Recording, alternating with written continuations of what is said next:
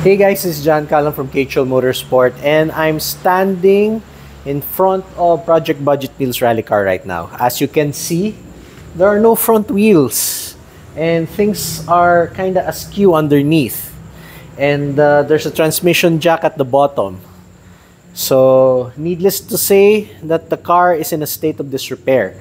And uh, I will explain to you guys shortly uh, what is going on with the car and what we have to do in order uh, to get it in fit and fighting form for our upcoming rally event, uh, which is, uh, as I say it, as I record this video, it is uh, July 7 and the rally is on August 4. So we have uh, kind of less than a month to get this car buttoned up we're needing to test this car on an upcoming slalom race on the 16th of July.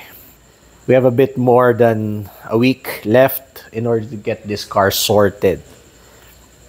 Uh, let me show you guys around the car and to see what is going on with it. You can see there are no wheels. Uh, basically the lower part of the suspension, the wheels, the knuckles, the axles are all down. And of course, the whole transmission is missing. You're not supposed to see all the way through the other side and seeing the next, uh, the other front shock behind us. So, uh, I don't know if you guys know that we have some uh, inverted uh, strut shocks over here. This is from a Subaru uh, STI GC8 so it seems to still be in good condition and hopefully it lasts the uh, the time that we use it for the rally. Alright, so there's no transmission over here. The starter is hanging. The clutch is visible. And it's an open chasm over here at the engine bay. So, while we're here, we'll tell you one other problem the rack and pinion is bust. It's a power rack system, hydraulically assisted. So it has sprung a leak already in the seals, uh, especially on this side uh, of the rack end. And therefore, we kind of have to replace the whole rack. We could repair it, but I don't think it will last, and uh, it is cheaper uh, as far as uh, pain medication is concerned to just go for a new rack and pinion. They're not that expensive anyway for the Corollas. So rack and pinions bust, but what's what's slightly less bust but still bust nonetheless is the C52 transmission.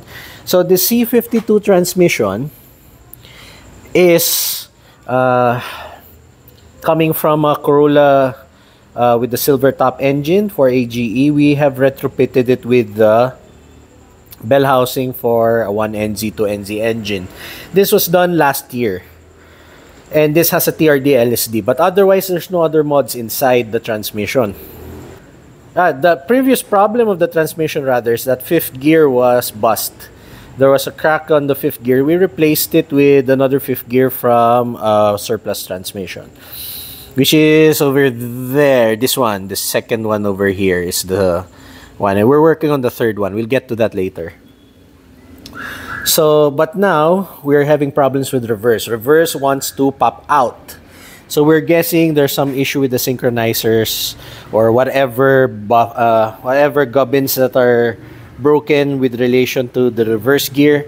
It's broken, so we kind of need to uh, open up this transmission. However, I have been acquiring uh, excess parts or additional parts uh, because I wanted to build my own uh, Corolla and I'm gathering parts and yet I may have to use these parts that I've gathered and saved up for uh, in order for me to expeditiously run on the rally without entailing more cost.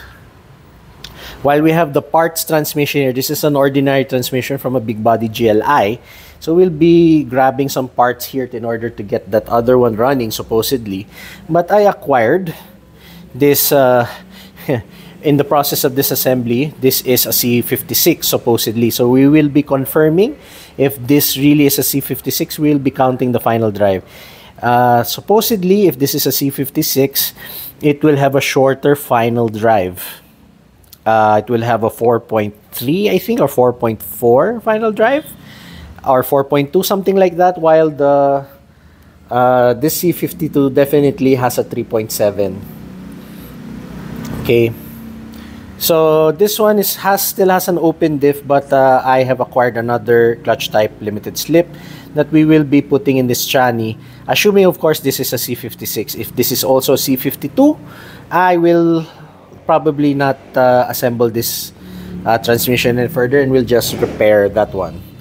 Uh, but we're this is a transmission also that has is known to have some faults also on third gear. Third gear is supposed to be grinding. That was reported to me by the previous owner. And therefore, that is why I have acquired this transmission for an affordable price. Yeah, so the shop is a mess. There's gear oil everywhere. It's a pain in the crack to work on transmissions with the smelly gear oil. I kind of like it a little bit, but I think it will be overpowering if too much. But yeah, the rally car is down for the count right now. And there's still lots more we still need to acquire for this car in order for it to be fit in fighting and hopefully be passing scrutineering. So we still have to, uh, we're still waiting for our new steering wheel, our new harnesses, and some other bits and bobs probably that I could not recall right now. Alright guys, that pretty much sums up the issues that we are experiencing and the things that we need to be working on with our project Budget Meals Rally Car behind me.